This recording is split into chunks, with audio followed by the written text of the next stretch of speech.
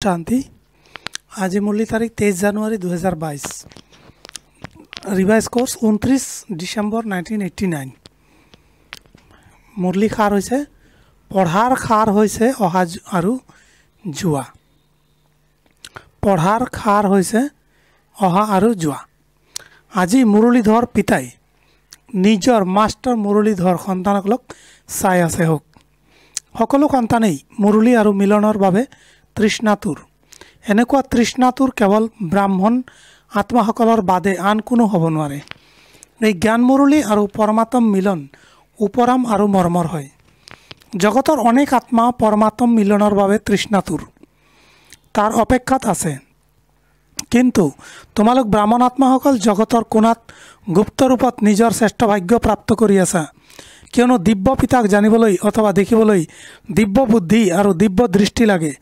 যিটো পিতাই তোমালোক বিশেষ আত্মাসকলক দিছে সেইবাবে তোমালোক ব্ৰাহ্মণেহে জানিব পাৰা আৰু মিলন উদযাপন কৰিব পাৰা। জগতৰ লোকেতো চিঞৰি থাকে এটি টোপালৰ বাবে তৃষ্ণাতুৰ আমি।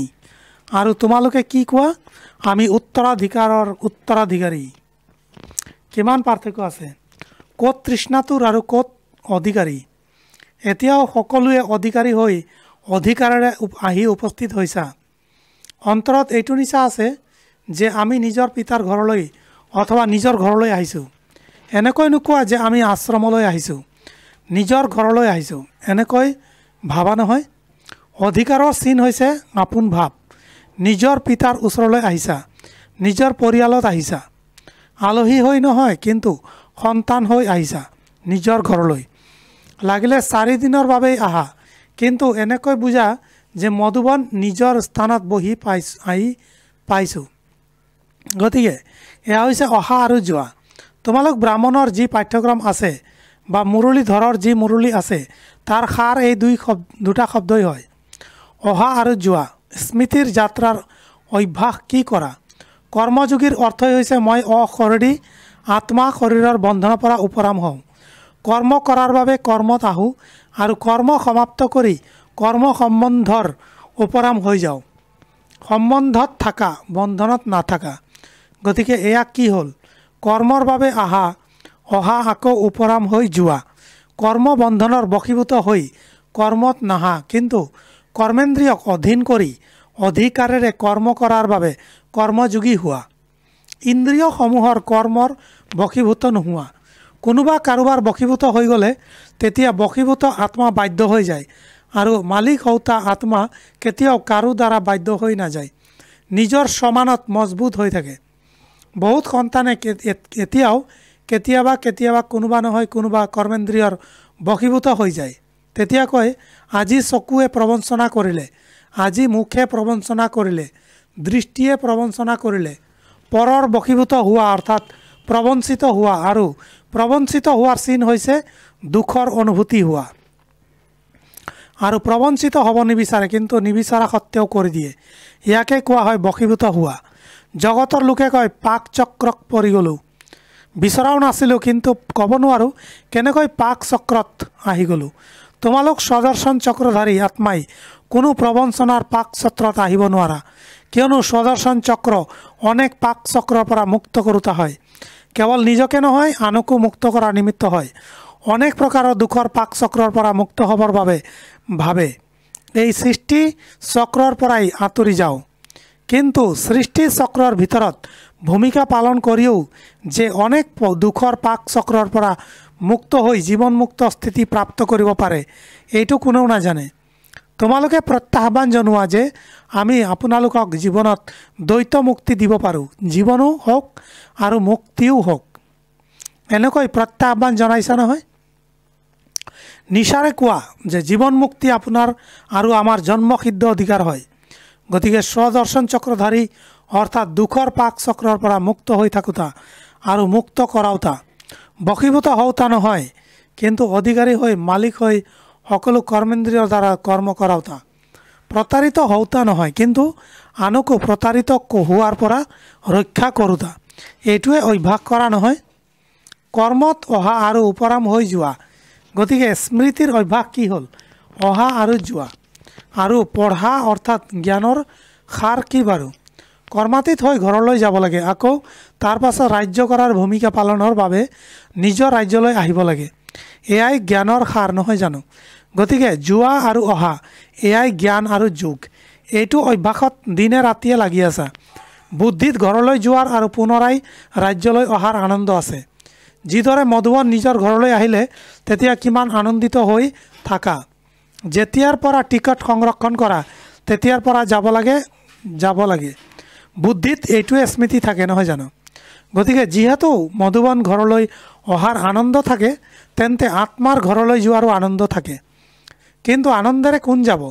যিমান সদায় এই অহা যোৱা যোৱাৰ অভ্যাস থাকিব। যেতিয়াই বিচৰা তেতিয়াই অশৰীৰী স্থিতিত স্থিত হৈ যোৱা আৰু যেতিয়াই বিচৰা তেতিয়া কৰ্মাতীত হৈ যোৱা। এইটো অভ্যাসত বহুত দৃঢ় হ'ব লাগে। এনেকুৱা নহওক যে তোমালোক অশৰীৰী হ'বলৈ বিচৰা আৰু শৰীৰৰ বন্ধনে কৰ্মৰ বন্ধনে ব্যক্তিৰ বন্ধনে বৈভৱৰ বন্ধনে স্বভাৱ সংস্কাৰৰ বন্ধনে নিজৰ ফালে আকৰ্ষিত কৰিব। যিকোনো বন্ধনে অশৰীৰী হ'বলৈ নিদিব। যিদৰে কোনোবাই আটিল পোচাক পিন্ধিলে তেতিয়া সময়ত ছেকেণ্ডত খুলিব বিচাৰিলেও খুলিব নোৱাৰিব। টনাটনি হয় কিয়নো শৰীৰত লিপিত খাই থাকে। সেইদৰে যিকোনো বন্ধনৰ আকৰ্ষণে নিজৰ ফালে টানিব। বন্ধনে আত্মাক আটিল কৰি দিয়ে। সেইবাবে বাপদাদাই সদায় এইটো পাঠ পঢ়াই নিৰ্লিপ্ত অৰ্থাৎ উপৰাম আৰু অতি মৰমৰ। বহু কালৰ এইটো অভ্যাস লাগে। জ্ঞান শুনা শুনোৱা সেৱা কৰা এয়া বেলেগ কথা। কিন্তু এইটো অভ্যাসৰ অতি আৱশ্যক। সন্মান সহকাৰে উত্তীৰ্ণ হ'বলৈ হ'লে এইটো অভ্যাসত উত্তীৰ্ণ হোৱা অতি আৱশ্যক আৰু এইটো অভ্যাসৰ প্ৰতি মনোযোগ দিয়াৰ ক্ষেত্ৰত অতিশয় সচেতন হোৱা। তেতিয়াহে ডবল লাইট হৈ কৰ্মাতীত স্থিতি প্ৰাপ্ত কৰি দ্বৈত মুকুটধাৰী হ'বাগৈ।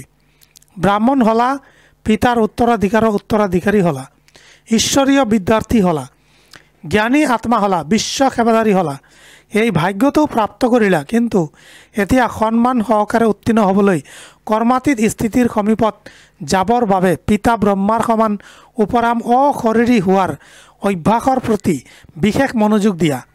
যিদৰে পিতা ব্ৰহ্মাই সাকাৰ জীৱনত কৰ্মাতীত হোৱাৰ আগতে উপৰাম আৰু স্নেহী হৈ থকাৰ অভ্যাসৰ প্ৰত্যক্ষ অনুভৱ কৰালে সকলো সন্তানে অনুভৱ শুনোৱা।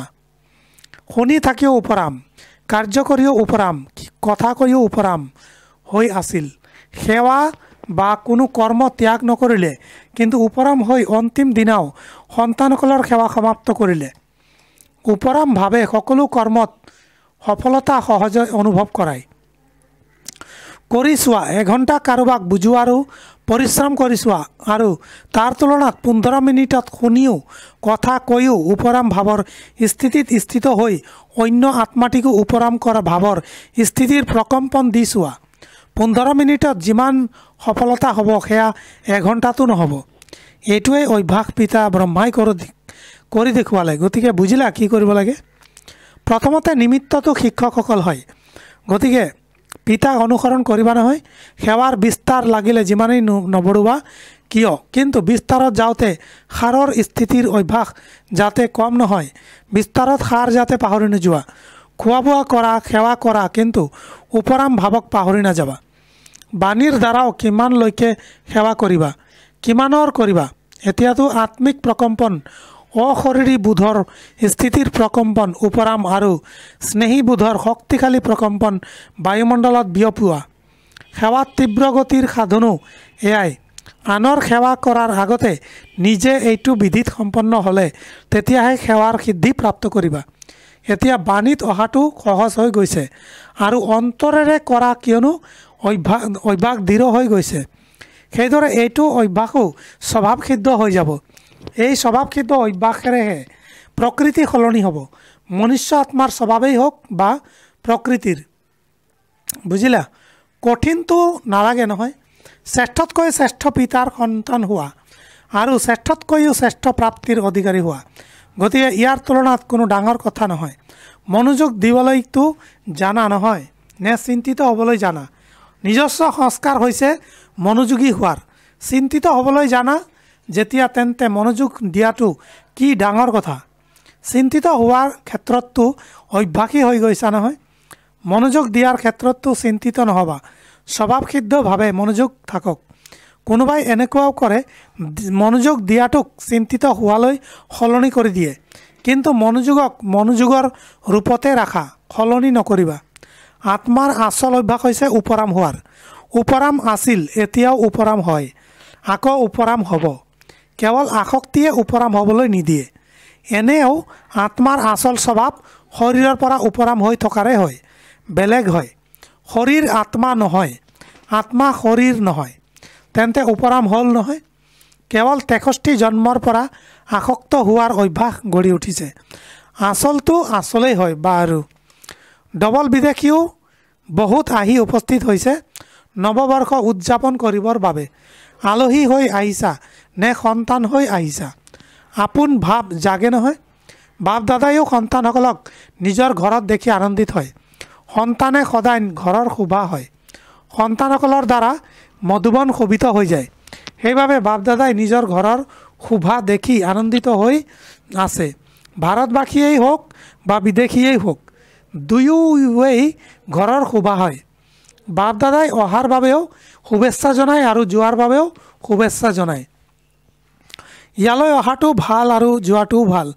বিদায় নহয় শুভেচ্ছাই শুভেচ্ছা। ইয়াৰ পৰা গ'লে সেৱাৰ শুভেচ্ছা আৰু ইয়ালৈ আহিলে মিলনৰ বাবে শুভেচ্ছা। দুয়োটাই শুভেচ্ছা হয় নহয় জানো? বাৰু সকলো দেশ বিদেশৰ সদাকালৰ অধিকাৰী সন্তানসকলক সদায় জ্ঞান আৰু স্মৃতিৰ সাৰত থাকোঁতা শ্ৰেষ্ঠ আত্মাসকলক সদায় অহা আৰু যোৱা এইটো স্মৃতিৰে সম্পন্ন হওঁতা। আত্মাসকলক সদায় পিতা ব্ৰহ্মাক অনুসৰণ কৰোঁতা। কৰ্মাতীত স্থিতিৰ সমীপত উপনীত হওঁতা।